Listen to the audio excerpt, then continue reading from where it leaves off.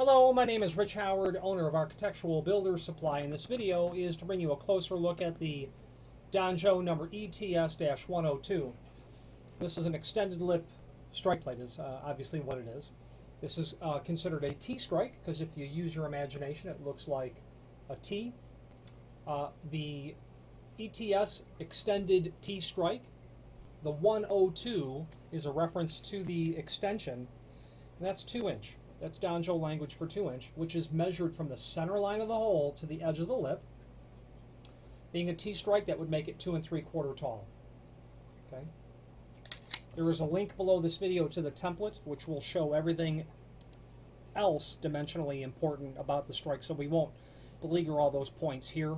This strike is currently available in antique brass, stainless steel, and a dark bronze painted finish as well. This strike happens to be solid brass. Okay, Screws are included. For some reason there's three in there. That's just a mistake. There would only be two screws included. Uh, extended lip strikes are used to mitigate uh, a problem by which you have a latch bolt that strikes the frame or trim or wall prematurely. Um, you know, you might have shutters on the exterior outswing door of a residential application. Uh, and the 102 is a very common size because the 2 inch extension is about 3 quarter inch greater than the lip length of a standard uh, strike plate. Those are about inch and a quarter, inch and three eighths in that range.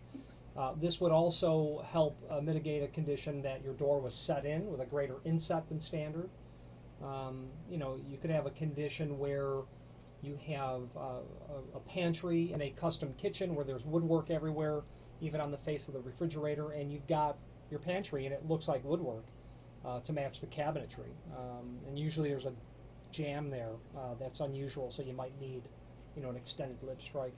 Um, and if you're thinking of an extended lip strike, you might need to consider wide throw hinges as well. Those typically go hand in hand.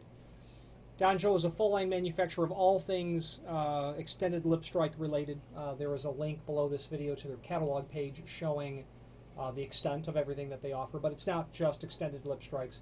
Door stops, push plates, door pulls, uh, and then of course there are uh, two lines that they're most commonly known for, the wraparound door reinforcing uh, channel or plates, and then of course latch protectors.